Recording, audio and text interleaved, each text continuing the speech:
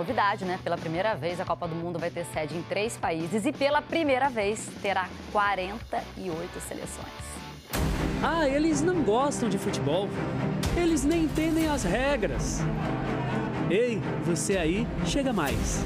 Os americanos do norte estão loucos para mudar algumas impressões. Let's go!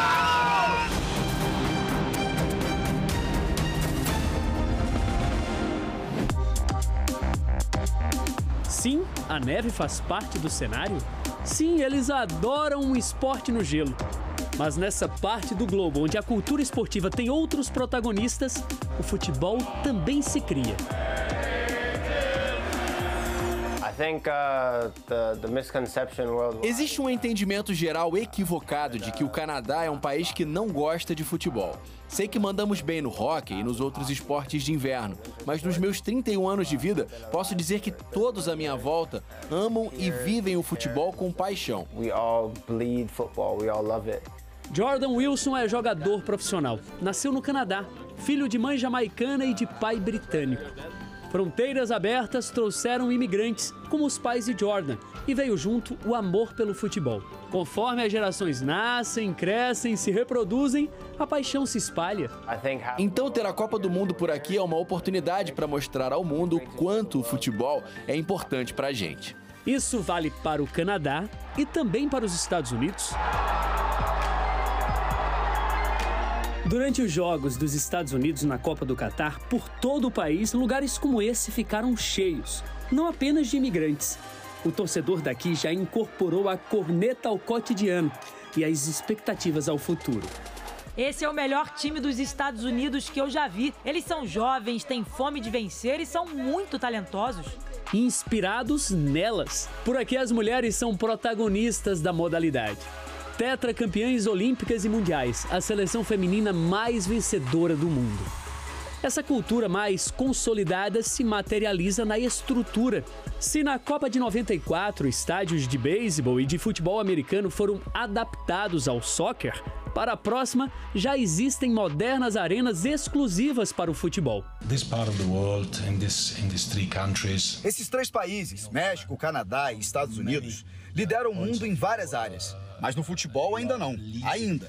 O objetivo é fazer do futebol o esporte número um também por aqui. Para fazer a modalidade subir degraus no maior mercado esportivo do mundo, que tal a maior Copa que já existiu?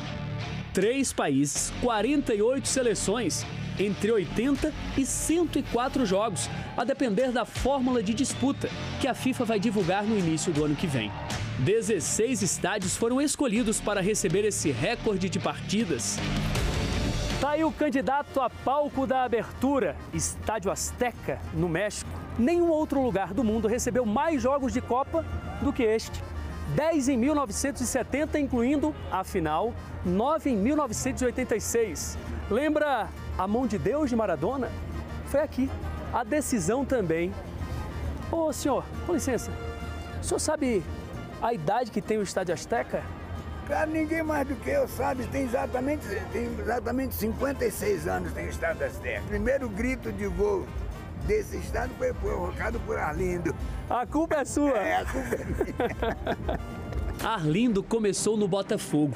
Ainda nos anos de 1960 se transferiu para o América do México. Acabou virando página da história do clube e do futebol. Domingo, 29 de maio de 1966. Aos 27 minutos de jogo, a casa caiu. E a sua foi levantada. a minha levantou. Imortalizei nesse dia. O palco do Tri pode ter a abertura, o país do Tetra receberá a final. O estádio mais cotado para a decisão também diz muito ao coração do Brasil.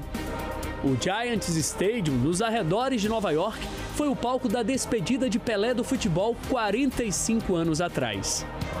Com o amor mais antigo ou mais recente de seus povos pelo futebol, em 2026, jogando em casa, México e Canadá querem ir além da fase de grupos em que pararam no Catar. 44 anos depois, o México dá adeus ao Mundial numa primeira fase de Copa.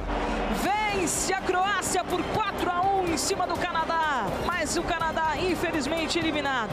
E os Estados Unidos, quem sabe, passar das oitavas de final. Será a Copa das Histórias que se cruzam, a costura geográfica que liga povos e culturas, que 48 países vão disputar, que o mundo todo ficará de olho, que os torcedores, nascidos ou acolhidos por aqui, esperam viver. Se Deus não me chamar, estarei aqui no México.